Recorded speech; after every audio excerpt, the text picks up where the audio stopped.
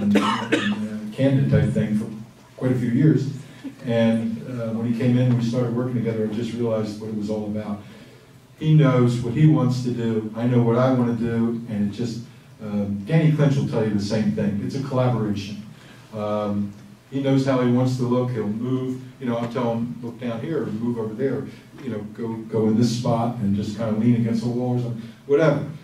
It's like a little bit of direction on my part, but a whole lot of what Bruce wants to give out on his part. So it's a really easy working experience.